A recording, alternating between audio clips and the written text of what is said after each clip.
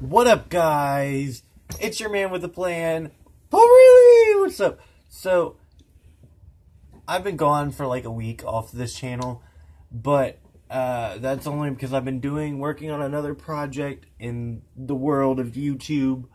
Um, guys, I made another channel.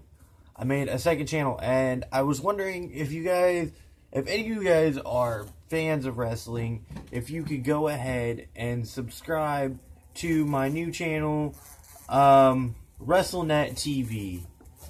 Um, I do everything on there of wrestling, mainly WWE type stuff. So if you guys are fans of WWE or any wrestling whatsoever, please subscribe to that channel. link will be down in the description. Second link. I hope you guys enjoy. I'll see you guys in the next video.